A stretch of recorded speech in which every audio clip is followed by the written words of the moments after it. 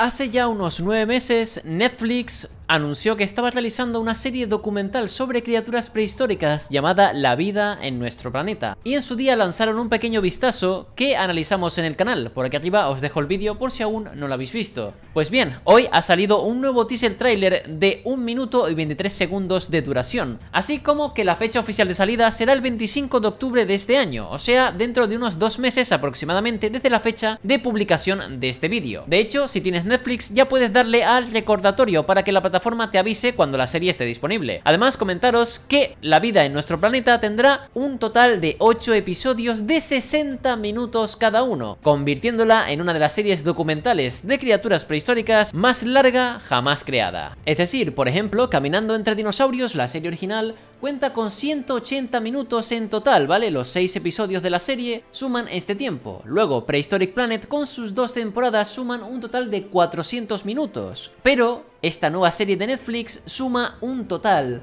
de 480 minutos de metraje, una completa barbaridad. Total, una vez hecha esta breve introducción, comencemos al fin con este análisis frame por frame de lo visto en este nuevo teaser. Al lío. Todo inicia con lo que parece ser un nido lleno de huevos cuyas cáscaras comienzan a romperse. Y aquí es imposible de saber a qué especie pertenecen estos huevos. Muchos podemos pensar que se trata de dinosaurios no avianos, tal vez, pero lo cierto es que como digo, no se sabe. Luego vemos un pequeño animal que está correteando por un bosque mientras un enorme dinosaurio terópodo avanza detrás de él a través de los árboles. Y si nos fijamos con detenimiento notaremos como esta criatura, que no sé si se acierta si se trata de algún tipo de reptil o de un joven dinosaurio, no lo sé, se mueve momentáneamente sobre sus patas traseras al avanzar por el bosque.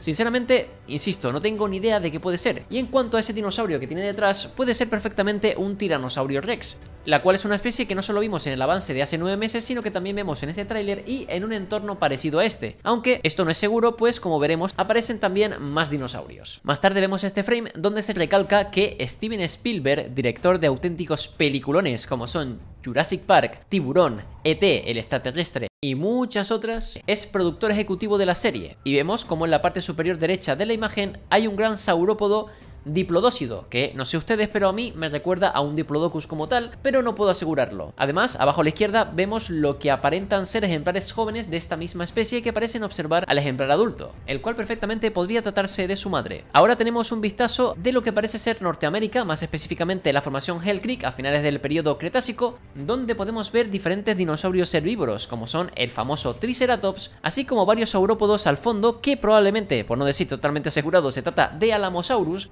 y finalmente vemos también ahí algunos pterosaurios o reptiles voladores sobrevolando la zona, y teniendo en cuenta que pese a la distancia se ven bastante grandes, es probable que se trate de Quetzalcoatlus, uno de los mayores animales voladores que han existido en nuestro planeta.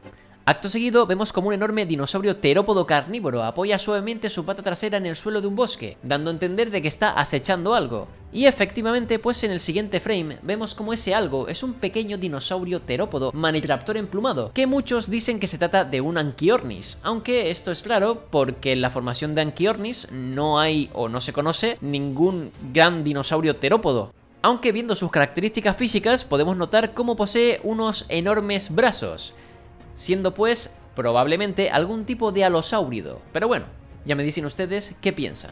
A continuación tenemos un fugaz vistazo a un animal que sin duda es algún tipo de gorgonópsido, que son unos terápsidos carnívoros que fueron de las primeras especies en desarrollar estos dientes de sable para cazar a sus presas.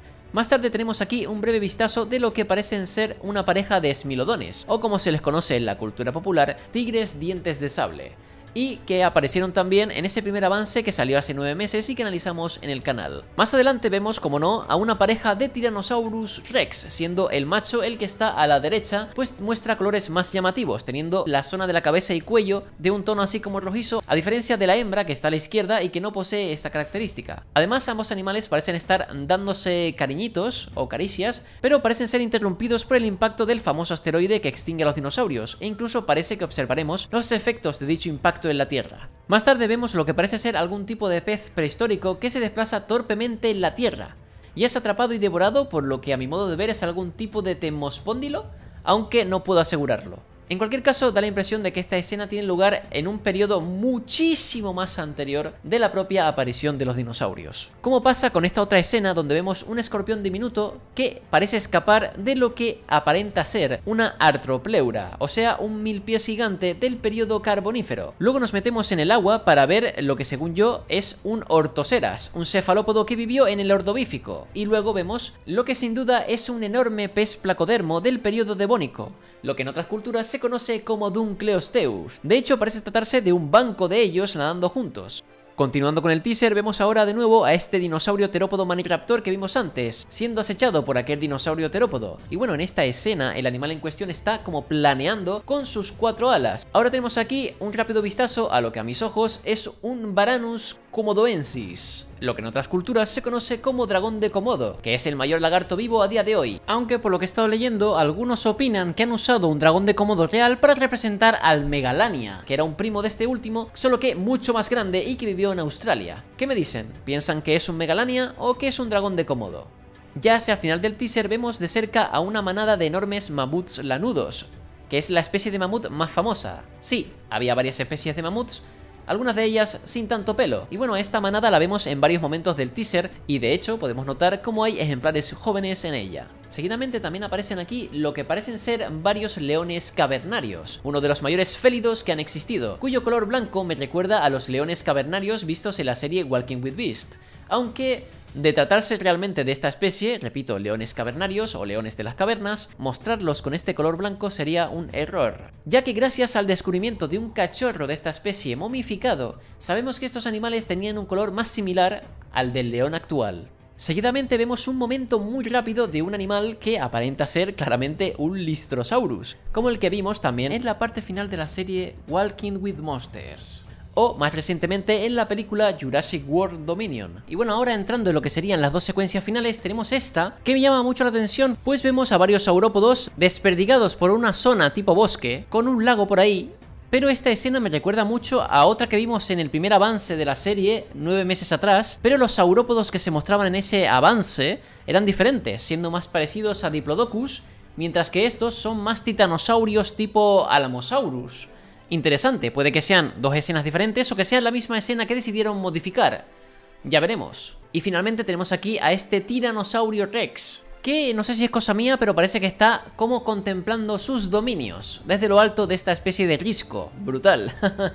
Y hasta aquí estaría el teaser amigos, sin duda para mí tiene el potencial esta serie de convertirse en una de las mejores series documentales de todos los tiempos, sin embargo aún está por ver esto ya que entre otras cosas tenemos que ver qué tipo de formato es, ya que no sabemos si van a estar la mayor parte del tiempo en cada episodio paleontólogos o diferentes expertos hablando, o si será más como Prehistoric Planet, Walking with Dinosaurs donde la mayoría del metraje, si no todo, tiene lugar durante la prehistoria recreada eh, digitalmente y demás.